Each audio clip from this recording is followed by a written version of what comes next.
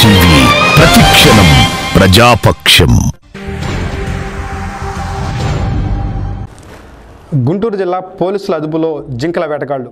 మాచవరం మండలం తురకపాలెం గ్రామానికి చెందిన కొందరు వ్యక్తులు సమీప అడవుల్లో జింకలను వేటాడి తీసుకువస్తుండగా సమాచారం అందుకున్న మాచవరం ఎస్ఐ నాయక్ వారిని అదుపులోకి తీసుకుని ఒక వ్యక్తిని మరియు జింకను అదుపులోకి తీసుకున్నారు.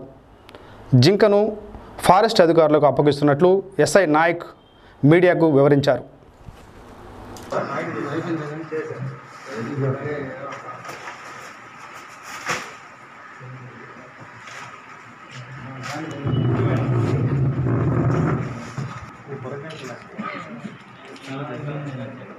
సైడ్ లేవు వాటర్ లేదు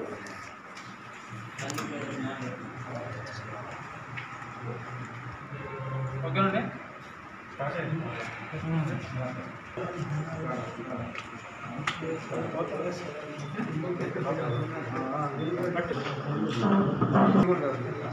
వాటర్ కాదు